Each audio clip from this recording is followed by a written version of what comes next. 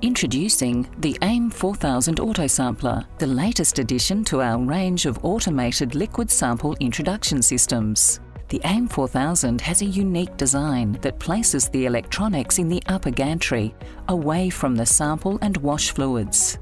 This optimises the available footprint for the processing of samples and standards. The standards and wash station are centrally located, which minimises the probe travel between sample and wash, which in turn reduces the wash time required. The AIM 4000 also has a protective cover option to contain acid fumes. That neatly integrates onto the autosampler chassis, taking up no additional space. A wide range of unique accessories are available to optimise your analysis.